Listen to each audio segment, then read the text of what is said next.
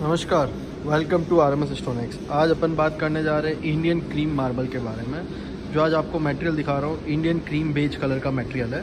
आप ये देख सकते हैं टोटल इसका जो बेस रहेगा, ये क्रीमिश और बेज कलर में रहेगा। ये देखिए आपको जूम इन करके दिखा देता हूँ। ये हल्का बिल्कुल बेज कलर रहेगा ऑफ़ वाइट कलर रहेगा और लाइट गोल्डन लाइन्स रहेगी इसके ऊपर। या आप जूम आउट करके दिखा देता हूँ आपको।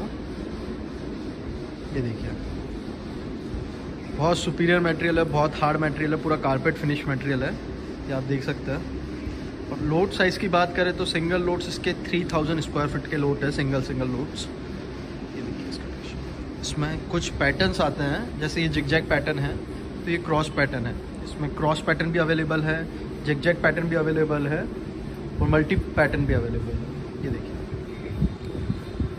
बहुत हार्ड मटेरियल है सुपीरियर मटेरियल है, और जिसका बजट अपना, अपन को क्रीम कलर लगाना है और बजट अपना इटालियन का नहीं है तो अपन निश्चित होकर ये मटेरियल लगा सकते हैं इंडियन क्रीम वहाँ पर।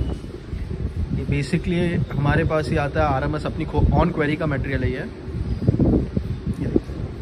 ये देखिए इसमें एक पैटर्न ये भी है, जिसमें मल्टी फिगर चलेगा zigzag plus cross load size की बात करें तो ये आठ बाई पाँच की साइज़ है इस लोड की। और क्वांटिटी की बात करें तो इसमें साढ़े चार हज़ार स्क्वायर फीट सिंगल लोड में, एक सिंगल लोड में मटेरियल है। सबकी प्रोसेसिंग है वो 18 एम mm है। प्राइस रेंज की बात करी जाए तो ये सारे loads basic fifty five rupees पर स्क्वायर फिट की प्राइस रेंज में है। पचपन रुपये पर स्क्वायर फिट